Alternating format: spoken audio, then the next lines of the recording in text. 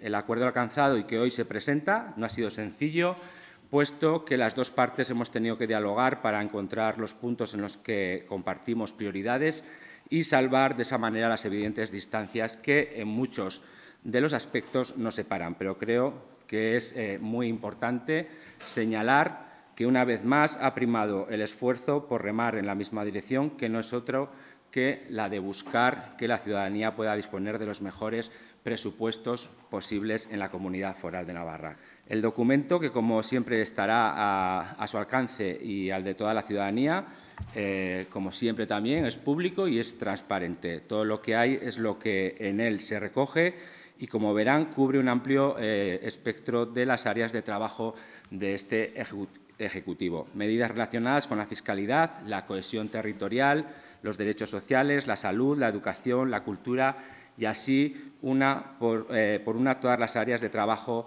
del Gobierno de Navarra. Necesidades que pasan sin duda por el refuerzo de todo lo relacionado con el componente social, garantizando una dotación económica que permita dar cobertura presupuestaria al refuerzo de los servicios públicos fundamentales, que es lo que este Gobierno siempre ha defendido.